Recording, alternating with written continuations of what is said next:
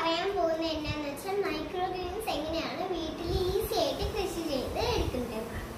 അതിനായി ഞാൻ എടുത്തിരിക്കുന്ന ചെറുപയറാണ്. നമുക്ക് ചെറുപയർ തന്നെ വേണമെന്നില്ല. ചെറുപയർ വൺ പയർ ആയിക്കോട്ടെ ചെറുപയർ ആയിക്കോട്ടെ അങ്ങനത്തെ ഏത് സീരീസ് ആയാലും നമുക്ക് എടുക്കാം.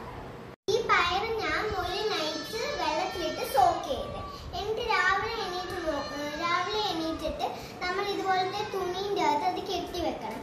ഈവനിങ് നോക്കുമ്പോൾ ദേ ഇങ്ങനെ ഇത് സ്പ്രൗട്ടഡ് ആയിരിക്കും എന്നിട്ട് ഇങ്ങനത്തെ ഒരു പാത്രം എടുത്തിട്ട് അതിന്റെ അകത്ത് മൂന്ന് ടിഷ്യൂ പേപ്പർ വെക്കണം.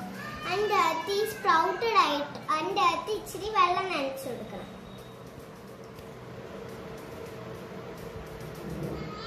അതിന്റെ അകത്ത് ഈ സ്പ്രൗട്ടഡ് ആയ ഈ സ്പ്രൗട്ടഡ് ആയ ചെറുപയർ കൊടുക്കണം.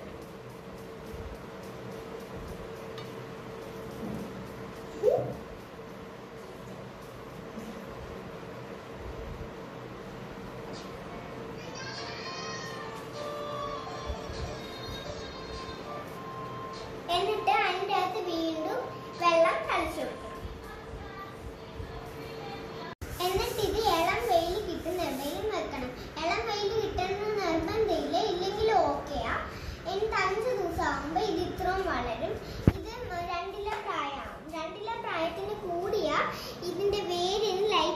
കയ്പ് വരും ഇതിന്റെ വേ ഇത് ഇത് ഇങ്ങനെ ഇതിന് നമുക്ക് വേരോടെ തന്നെ കറി വെക്കും. ഇതിങ്ങനെ പറിച്ചാൽ തന്നെ വരും.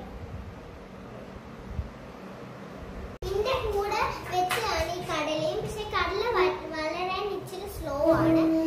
ഈ ചെറുപയറാണ് വളരാൻ കൂടുതലും ഫാസ്റ്റ് കൂടുതലും ഫാസ്റ്റ് അപ്പം എന്റെ എല്ലാ കൂട്ടുകാരും ഇത് ചെയ്ത് കൊടുക്കണം